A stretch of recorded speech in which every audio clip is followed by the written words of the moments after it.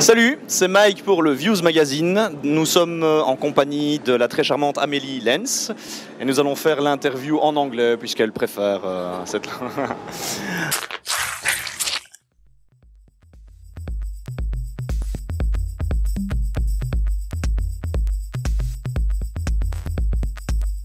Do you prefer people looking at you on a picture because you're a model or people looking at you as a DJ on the stage? I guess I prefer uh, as a DJ because um, as a model they just like they take me and they put makeup on me and they put clothes on me and they tell me who I, like who I have to be. And then you know I just do it. And as a DJ I'm just being myself and do what I love. So DJing for sure yeah. What do you think about the position of the women uh, on the um, electronic business in Belgium yeah in Belgium or in, in the world? Yeah.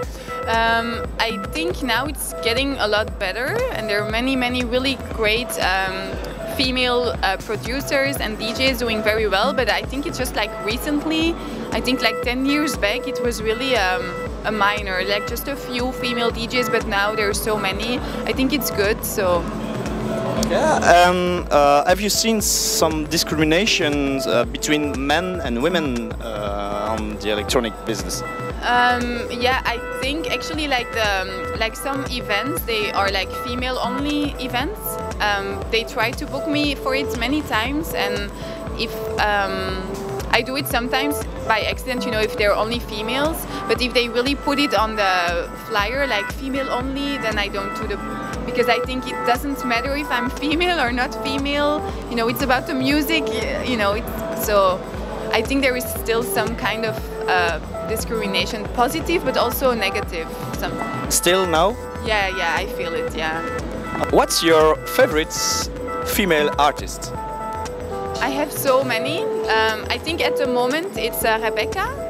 She's. Um, I don't really know where she's from, but she's a really. It's really dark underground music, but also she's very um, healthy. You know, I, I, follow her on Instagram and she's like doing a lot of workouts and she's also vegetarian and she cares about the environment and just everything about her. I think, and she's an amazing producer and a great DJ. And uh, I think it's. For me, it's important not to just like the music, but also the person, you know, and what they stand for. So, Rebekah, for sure. Can you compare the clubbing um, North clubbing and South clubbing in Belgium?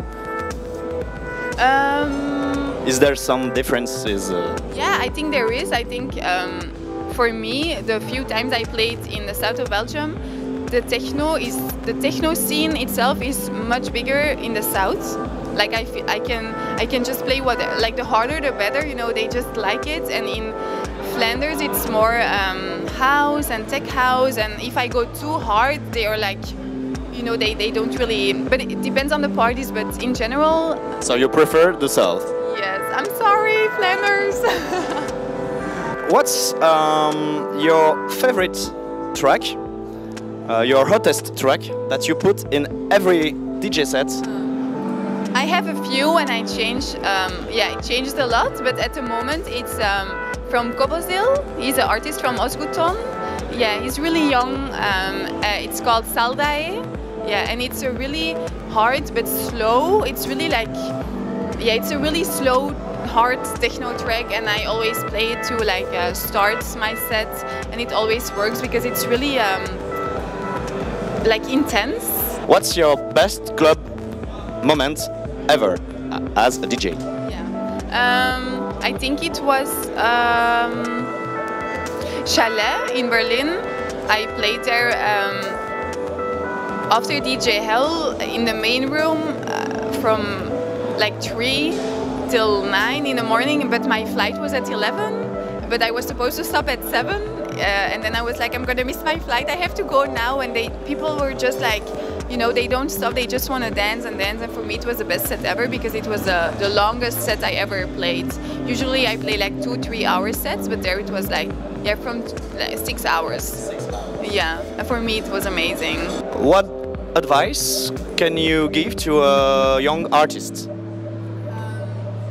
Don't ever give up.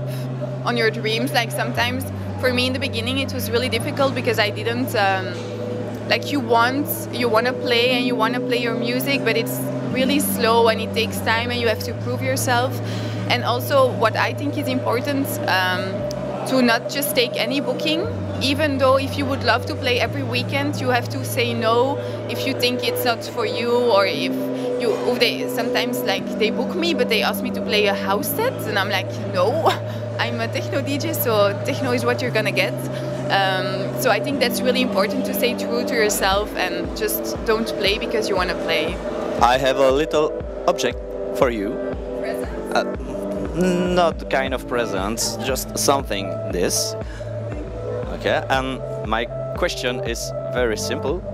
What do you see in the mirror? I guess I see uh, happiness because um, for me this is a really good time um, in my life because yeah I'm playing at uh, Les Transardentes which is great. Also my new EP is coming out and I just feel my like my cheekbones they hurt because I'm smiling all the time for like a week. So when I took the mirror I just saw my face like being really happy. So happiness, happiness.